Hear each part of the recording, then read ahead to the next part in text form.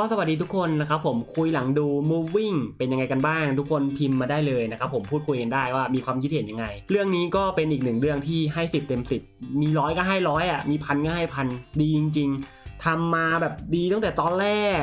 ยันมาตอนจบโหเป็นซีรีส์ที่แบบ ผมว่าเป็นซีรีส์แห่งปีอะดีที่สุดแล้วอะมีตอนแรกแล้วก็ตอนจบที่ดีมากๆ เรื่องหนึ่งเลยนะครับผมแล้วก็เป็นเรื่องที่สนุกมากๆ ก็เรื่องนี้ทำให้เราแบบดีใจมากๆนั่นก็คือเขามีภาคสอง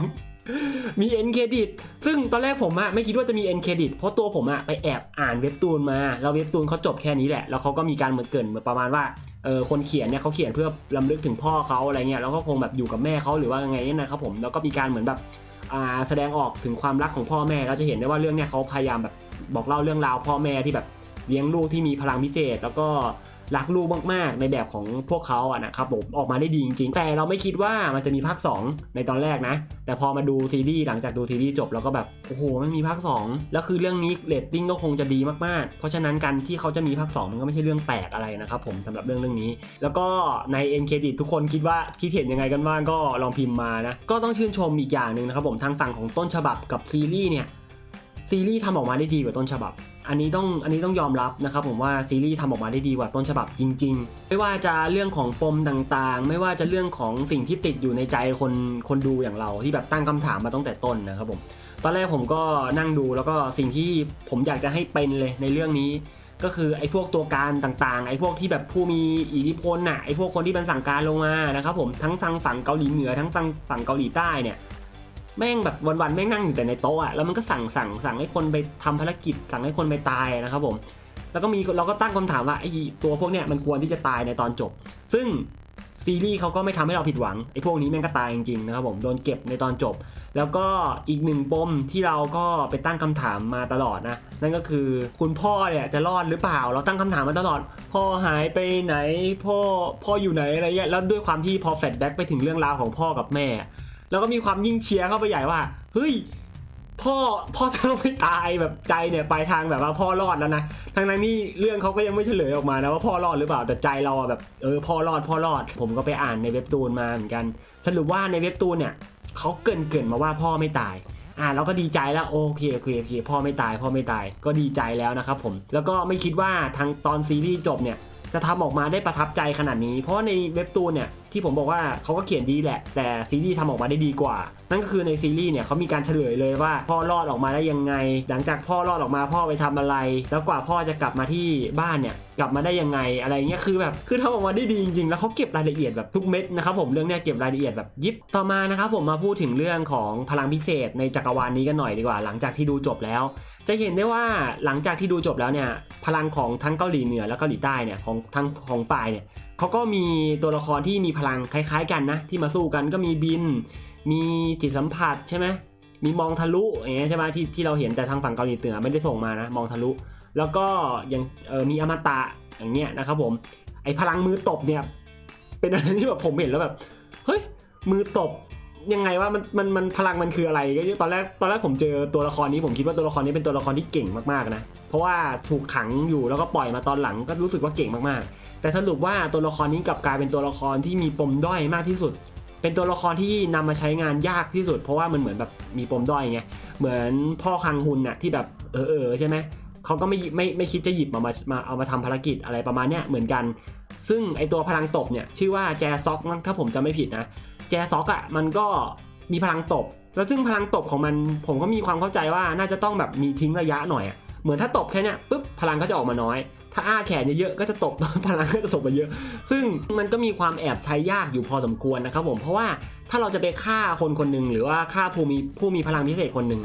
บางทีมันก็ไม่จำเป็นจะต้องใช้พลังมหาศาลขนาดนั้นเข้าใจปะเออมันผมก็เลยคิดว่ามันเป็นพลังที่แบบน่าจะทิ้งระยะห่างหรือเปล่า อันนี้ทุกคนมีความคิดเห็นยังไงเกี่ยวกับพลังนี้ก็พิมพ์มาได้นะ เพราะว่าจังหวะที่เขาตกตึกอะ เหมือนเขากางแขนแล้วก็แบบเหมือนมันทิ้งระยะแบบฟู่ลงไปแล้วแบบตบปุ้ง แล้วมีพลังแบบมหาศาลมาก ซึ่งถ้ามันจะมีพลังมหาศาลขนาดนั้นตั้งแต่ตอนแรกอะ่ะไอตอนจังหวะที่มันอ้าแขนแล้วตบอะ่ะมันก็ควรมีพลังเบอร์นั้นใช่ไหมแต่มันเหมือนแบบระยะในการชาร์จพลังของมันอะในการอ้าแขนในการแบบทิ้งระยะห่างอะมันเหมือนแบบมันต้องใช้พลังมันเหมือนมันมันพัดลมหรืออะไรก็ไม่รู้ผมก็ไม่เข้าใจพลังนี้เหมือนกันนะก็เป็นอีกหนึ่งพลังแล้วพลังนี้เขาฝึกโดยการตบตบแมลง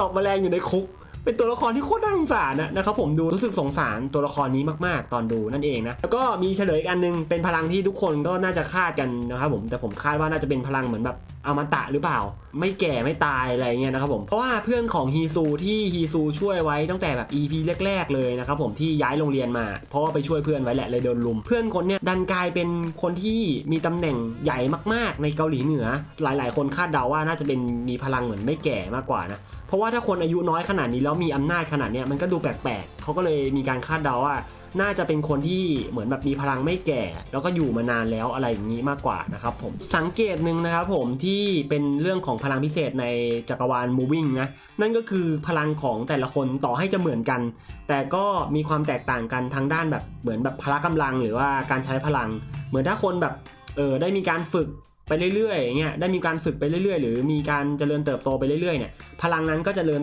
ก็จะเก่งขึ้นเรื่อยๆ ตามตัวผู้ใช้ไปด้วย นี่ก็เป็นอีกหนึ่งจุดสังเกตนะตอนที่คังฮุนเนี่ยสู้กับไอตัวร้ายที่มีการแบบใช้หมัดปะทะกันน่ะใน EP ที่ประมาณ 19 หรือเท่าไหร่เนี่ยผมจำไม่ได้แล้ว18 19นะครับผมต่อยหมัดกันเนี่ยแล้วมือของคังฮุนหัก แต่พอพ่อคังฮุนมาซึ่งมีซึ่งทั้ง 3 คนเนี่ยมีพลังเหมือนกันนะ แต่พอพ่อคังฮุนมาในซีรีส์เขาไม่ได้เฉลยนะว่ามีการแบบเอามือมาต่อยปะทะกัน แต่ในเว็บตูนเนี่ยพ่อของคังฮุนก็ได้มีโอกาสเอามือต่อยปะทะกับไอคนที่เป็นตัวร้ายเหมือนกัน แต่เป็นทางฝั่งของตัวร้ายที่มือหักไปแทนแล้วแพ้ไปแทนนะครับผมแต่ในซีรีส์เนี่ยก็คือพ่อคังฮุนมาก็แบบก็ซัดยับเลยนะครับผมไม่ได้ไม่ได้แบบมีการเอามือมาปะทะกันอะไรอย่างนี้ แล้วก็ไม่ได้มีการแบบเหมือนให้เห็นได้ชัดว่าแบบอ่าใคร ใครแบบมีมือแข็งกว่ากันอะไรเงี้ยแต่พลังก็คล้าย ๆ กัน ผมก็เลยว่าจุดนี้ก็อาจจะเป็นจุดที่เหมือนซีรีส์หรือว่าผู้เขียนเนี่ยเขาอาจจะมีการแบบในแต่ละพลังที่เหมือนเหมือนๆกันเนี่ยมันก็มีระดับสเกลพลังของแต่ละคนไปเหมือนกันว่าแบบฟื้นตัวฟื้นตัวได้เร็ว ฟื้นตัวได้ช้า ฟื้นตัวได้เร็วมากๆอะไรเงี้ยมันอาจจะเป็นระดับสเกลของพลังอันนั้นก็ได้ อาจจะเป็นไปได้นะอ่านี่ก็คือในส่วนของพลังที่เราพูดถึงกันหลังจากที่เราดูจบ ต่อมานะครับผมเรื่องของ end credit นั่นเองว่ามันเป็นมายังไง ซึ่งเราจะเห็นได้ว่าเกาหลีใต้กับเกาหลีเหนือเขาก็ตบกันมาใช่ไหม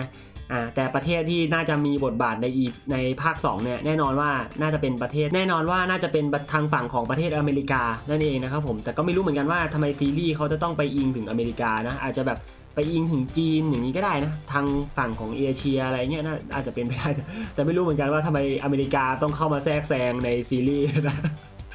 แทรกแซงยันซีรีส์นะก็ก็เป็นอีกหนึ่งประเทศละกันนะครับผมที่น่าจะมีบทบาทในภาค 2 เพราะว่า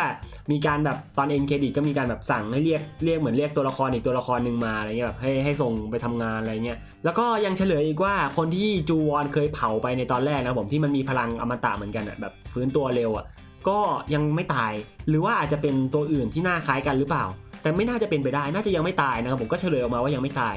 แต่ก็กลับประเทศไปก็ก็ไม่รู้เหมือนกันว่ามันยังไงนะสำหรับตัวละครนี้นะก็น่าจะเป็นตัวละครที่ทุกคนชื่นชอบแหละ ก็มารอลุ้นกันนะครับผมว่าอเมริกาเนี่ยเขาจะส่งคนที่มีพลังแบบไหนมา อาจจะเป็นพลังใหม่ๆ ก็ได้ เพราะว่าถ้าไม่ใช่พลังใหม่ๆ ที่ตึงจริง ๆ หรือว่าเก่งจริงๆอะเกาหลีเหนือก็ตึงมากเลยนะตอนนี้ยยังอย่างทางฝั่งของนางเอกเนี่ยก็โอ้โหมี 3 ตัวที่เป็นแบบตัวฮิลลิ่งใช่ไหมเป็นตัวแบบเป็นตัวเป็นตัวแบบฟื้นฟู 3 ตัว ทางฝั่งของพ่อพระเอกก็คือพระเอกก็มีพลังของแม่ด้วย มีพลังของของพ่อด้วย พระเอกก็จะยิ่งตึงเข้าไปอีก แล้วเหมือนว่าพระเอกคงจะลดความอ้วนอะตอนหลังถ้าลดความอ้วนแล้วก็ได้ฝึกกับพ่อฝึกกับแม่ น่าจะเก่งขึ้นไปอีก ผมว่าพ่อแม่บองซอกเนี่ยเป็นอะไรที่ตึงที่สุดแล้วนะครับผมในเรื่องนี้แล้วพ่อเนี่ยเก่งจริงเก่งจริงอะแบบเก่งมากเอางั้นยิงปืนแม่นมาก เพราะว่าทุกคนที่พ่อไปยิงที่ไปบุกเกาหลีเหนือ พ่อยิงแบบไม่ใช่จุดตายอะจุดเกือบตายอะโอ้โห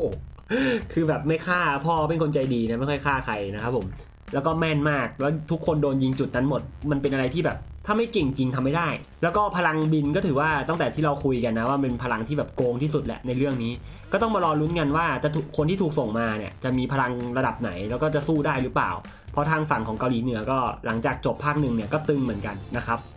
เอออีกอย่างหนึ่งนะครับผมจะมีโอกาสไหมที่นักแสดงเนี่ยจะเป็นนักแสดงชุดเดิม ก็เพราะว่าส่วนใหญ่ซีรีส์ก็น่าจะเหมือนแบบพอเป็นภาค 2 เป็นอะไรงี้ก็นักแสดงก็เปลี่ยนไปนะครับแต่เรื่องนี้ก็ทำโดยดิสนีย์เนาะเขาก็น่าจะมีงบในการแบบซื้อตัวนักแสดงไว้เซ็นสัญญากับนักแสดงไว้ว่าแบบให้นักแสดงชุดเดิมมาเล่นอย่างเงี้ยก็อาจจะเป็นไปได้เพราะว่าดิสนีย์เขาก็น่าจะทำซีรีส์ที่มันมีคุณภาพจริง ๆออกมานะครับก็วันนี้ก็มาเพียงเท่านี้แล้วกันนะ ใครที่มีความคิดเห็นยังไง หลังจากดูจบ พิมพ์ไว้ได้เลยนะครับผมพิมพ์พูดคุยกันได้นะ วันนี้ผมขอตัวลาเพียงเท่านี้นะครับสวัสดีครับบ๊ายบาย